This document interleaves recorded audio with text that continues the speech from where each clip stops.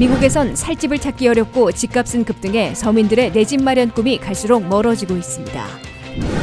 버지니아주에서는 1인당 300달러, 부부 600달러씩 tax rebate를 해주고 식료품 판매세는 면제하는 방안들이 추진되고 있습니다. 버지니아 알렉산드리아에 위치한 한인 커뮤니티 센터에서 센터 건립 후원자들의 이름을 거는 동판식이 진행됐습니다.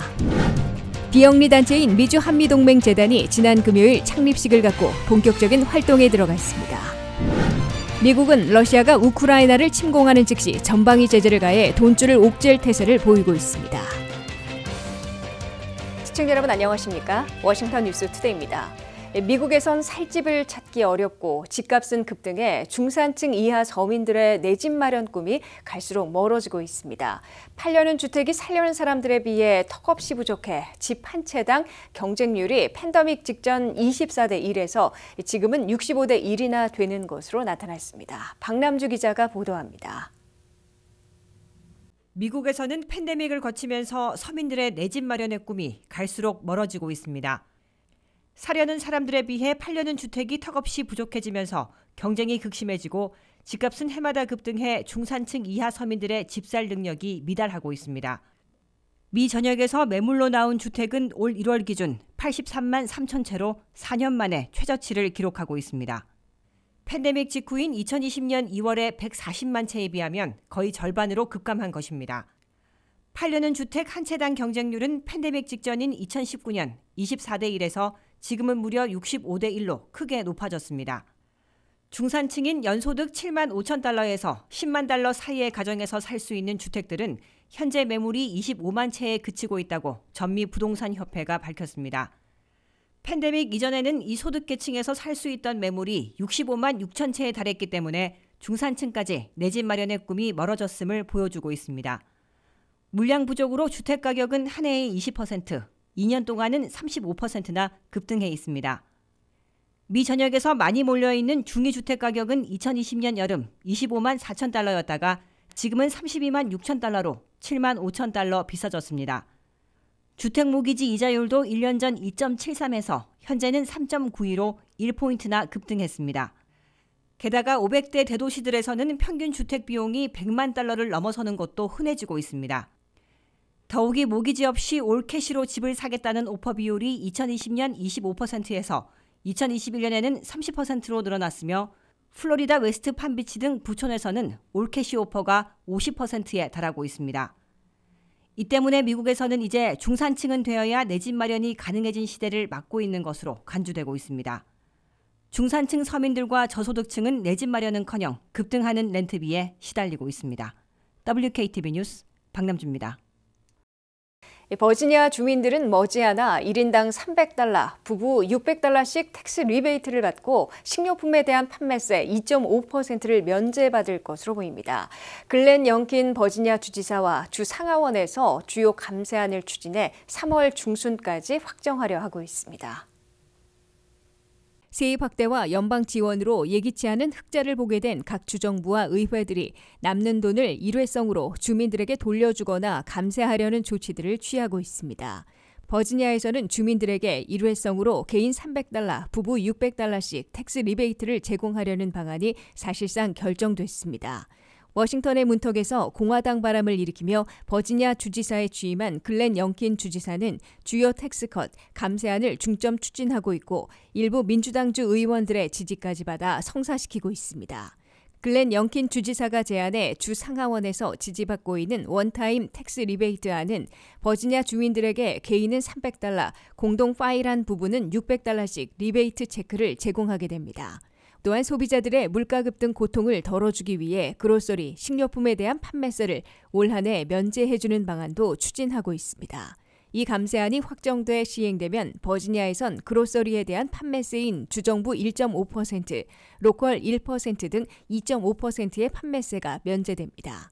버지니아는 또 기초소득공제액을 개인 4,500달러를 9,000달러로, 가구당 9,000달러를 18,000달러로 두 배 올리는 방안도 추진하고 있습니다. 버지니아에서는 주의회 회기가 3월 12일 끝나기 때문에 그 이전에 입법 절차를 마치고 각종 세금 혜택을 주민들에게 제공하게 됩니다. 이웃 메릴랜드에서는 두 가지 추가 감세 조치가 추진되고 있습니다. 65세 이상 은퇴자들이 받고 있는 사회보장연금에 대해선 저소득층일 경우 세금을 물리지 않은 방안을 추진하고 있습니다. 입법화되면 메릴랜드의 은퇴자 중 저소득층 7만 명이 사회보장연금에서 올 한 해 면세 혜택을 받게 됩니다. 이와 함께 메릴랜드의 저소득층 3만 가구는 기초 근로소득 공제인 EITC 세금 혜택을 항구적으로 받게 하는 감세 조치도 추진되고 있습니다. 버지니아와 메릴랜드뿐만 아니라 미 전역에서 12개 주가 grocery 판매세를 없애고 있습니다. 주 차원의 개인소득세, 재산세도 인하하거나 1년간 면제하려는 주들도 늘어나고 있습니다. 버지니아 알렉산드리아에 위치한 한인 커뮤니티 센터에서 오늘 동판식이 진행됐습니다. 센터 건립 기금은 10달러부터 많게는 25만 달러의 금액을 모금한 천여 명의 후원자들에 의해 마련됐는데요. 후원자들의 이름이 새겨진 동판이 커뮤니티 센터 로비에 걸리면서 한인 커뮤니티를 위한 센터 건립에 힘써준 모든 후원자들에게 감사를 나누는 시간을 가졌습니다. 김지수 기자가 다녀왔습니다. 워싱턴 한인 커뮤니티 센터 건립에 모금한 후원자들의 이름이 새겨진 동판이 모습을 드러냈습니다.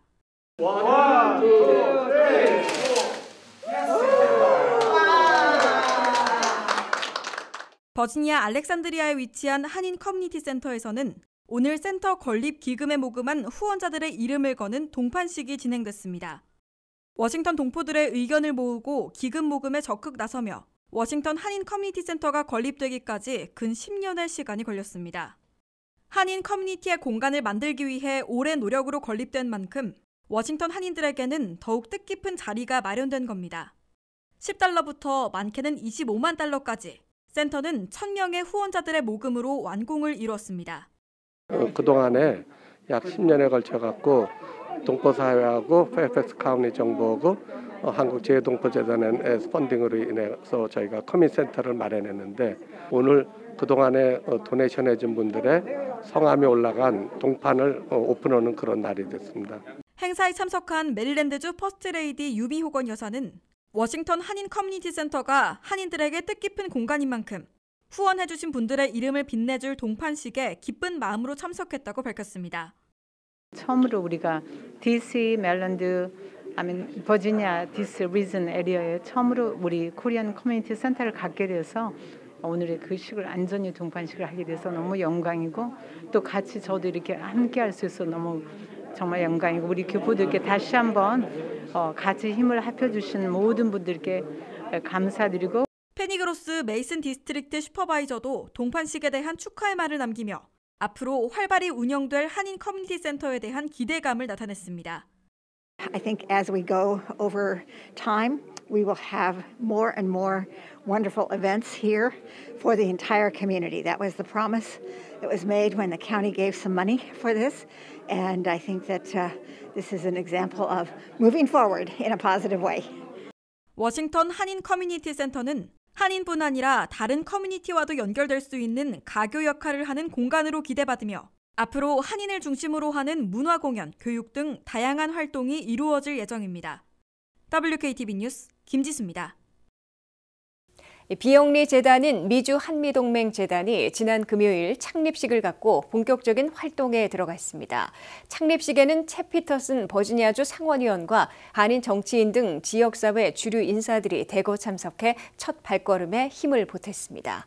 미주 한미동맹 재단은 앞으로 6.25 참전 용사를 지원하는 것은 물론 차세대에게 한미동맹에 대한 이해를 높일 수 있는 다양한 프로그램들을 준비하고 있다고 밝혔습니다. 박남주 기자가 창립 현장을 다녀왔습니다. 왔습니다.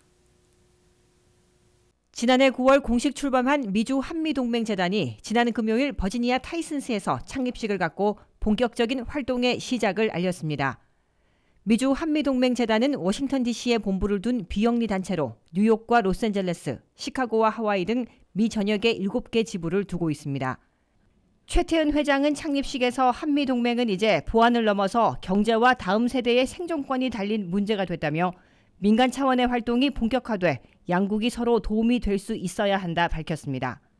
두 나라의 우호를 더욱 증진하고 잊혀져 가는 전쟁이라고 하는 한국 전쟁의 의미와 한미 동맹의 의미와 중요성을 차세대에게 교육하는 것을 주로 목적으로 하고 있습니다. 최태은 회장은 또 미주 한미동맹 재단에서는 앞으로 6.25 참전 용사를 지원하는 것은 물론 우리 미래 자원인 차세대 교육을 위한 다양한 프로그램을 준비 중이라 강조했습니다. 어, 미국에서 자라나는 차세대들한테 어, 한미 동맹이 왜 중요하고 그것이 앞으로 미 주류 사회에 살아나갈 때 어떻게 발판이 될 수 있는지 그런 걸 교육하는 류태호 부회장과 원영 사무총장의 사회로 시작된 창립식에서는 챕 피터슨 버지니아주 상원의원, 제프 맥케이 페어팩스 카운티 의장은 물론이고 마크 김과 아이린 신 버지니아주 하원의원 등 지역 정치인들이 대거 참석해 축사를 이어갔습니다. 제프 맥케이 페어팩스 카운티 의장은 미국 사회에서 한인들의 역할을 강조하며 미주 한미동맹재단에 거는 기대를 드러냈습니다. We have a huge Korean population here in Northern Virginia and Fairfax County, and so my expectations are to continue to build upon the strong relationship uh, that we already have uh, between the United States and Korea and make sure that here in our local community, uh, people understand the importance of that. 심은경이라는 한국 이름도 가지고 있는 전 주한 미국 대사 겸 현 한미 경제연구소 캐슬린 스티븐스 소장은 앞으로 미주 한미 동맹 재단이 양국의 관계를 깊이 있게 발전시키는데 핵심 역할을 할 것이라 강조했습니다. welcome the uh, establishment of this foundation. I think it's going to play a very important role in further deepening the ties and understanding between the United States and Korea. And the reason I think that is because it is being supported by this incredibly vibrant community. 글렌 영킨 버지니아 주지사와 레리 호건 메릴랜드 주지사도 축하 메시지를 보내 미주 한미동맹재단의 힘찬 발걸음에 응원을 보탰습니다. 창립식에 참석한 100여 명의 주요 인사들은 평화는 한국과 미국을 넘어 세대와 민족을 아우르는 우리 모두가 지켜내야 할 중요한 가치라는데 의견을 같이 했습니다. 미주 한미동맹재단은 오는 6월 호국 보훈의 달을 맞아 후원 모금 행사를 시작으로 활발한 활동을 이어갈 예정입니다. 주한 미군 전우회를 후원하는 것은 물론 다음 세대들에게 한미 동맹에 대한 이해를 높일 수 있도록 토론 대회와 인턴십을 포함한 다양한 프로그램을 준비하고 있다 재단 측은 밝혔습니다. WKTV 뉴스 박남주입니다. 미국은 러시아가 끝내 우크라이나를 침공하는 즉시 재정적, 기술적, 군사적 전방위 제재를 가해 돈줄을 옥죌 태세를 보이고 있습니다. 러시아를 국제 결제 네트워크인 스위프트에서 추방해 달러화의 송금을 차단하고 한국과 유럽 국가들과 함께 cell phone, 랩탑 컴퓨터, 냉장고와 세탁기 등의 상품 수출을 전면 금지해 러시아 경제를 초토화시킨다는 카드를 꺼내들고 있습니다. 보도에 한면태 기자입니다. 러시아가 철군 주장과는 달리 우크라이나 접경 배치 병력을 19만 명으로 늘리고 분리주의 지역에서는 포격전까지 벌이게 해 일촉즉발의 전운이 짙어지자 미국은 동맹국들과 함께 전방위 제재를 즉각 부과해 러시아 경제를 초토화시키겠다고 거듭 경고하고 나섰습니다. 미국이 러시아가 끝내 우크라이나를 침공하면 수시간 안에 가동시키겠다는 러시아 제재 조치는 근년에는 볼 수 없었던 재정적, 기술적, 군사적으로 전방위 제재 조치를 신속하게 부과해 러시아 경제에 가혹한 타격을 가할 수 있는 방안들로 나타났습니다. 첫째, 재정적 제재로 러시아의 사실상 전체 금융기관들이 국제 금융거래를 할 수 없도록 쉬프트에서 추방할 것으로 미국과 유럽 동맹국들은 시사하고 있습니다. 스위프트 시스템은 지구촌 200개국 1100곳의 금융기관들이 국제적으로 송금과 금융거래를 하는 네트워크입니다. 러시아는 상당량의 금과 미 달러화를 보유하고 있고 중국과 별도의 결제 시스템을 구축해 놓고 있어 즉각 직격탄을 피할 수 있을지는 몰라도 시간이 흐르면 심각한 타격을 입게 될 것으로 예상되고 있습니다. 둘째, 기술적 제재로 미국이 제조하거나 디자인한 첨단 기술을 러시아와 수출입을 하지 못하도록 엠바고, 즉 전면 봉쇄하게 됩니다. 러시아 푸틴 정권의 주된 수입원인 항공, 우주, 전투기와 항공망 등 무기 등에 대해 전면 봉쇄하는 엠바고를 걸게 됩니다. 셋째, 미국은 물론 한국과 유럽 등 동맹국들이 전자와 가전제품의 러시아 수출까지 전면 금지시키게 됩니다.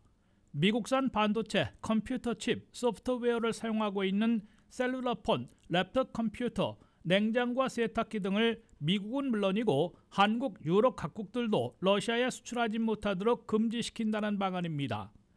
한국과 유럽 동맹국들에게는 미국산 칩과 소프트웨어를 사용하고 있다는 이유로 전자 가전제품의 러시아 수출을 중단하도록 요구할 방침입니다. 넷째, 군사적 제재로 미국과 나토 동맹이 회원국이 아닌 우크라이나 현지에 군병력을 직접 파병하지는 않겠지만 러시아가 침공한 우크라이나 지역에 있는 반군 세력들을 무장시켜 저항하게 유도할 것으로 관측되고 있습니다. 뉴욕타임스 등 미 언론들에 따르면 러시아는 우크라이나의 나토 가입을 막고 나가 소련 붕괴로 생겨난 미국 주도의 안보 질서를 깨려는 목표를 15년째 시도하고 있으나 누구도 세계대전을 원치는 않고 있어 메이저 지상전쟁 없는 새로운 버전의 냉전에 돌입하게 될 것으로 전문가들은 내다보고 있습니다. WKTV 뉴스 한면택입니다.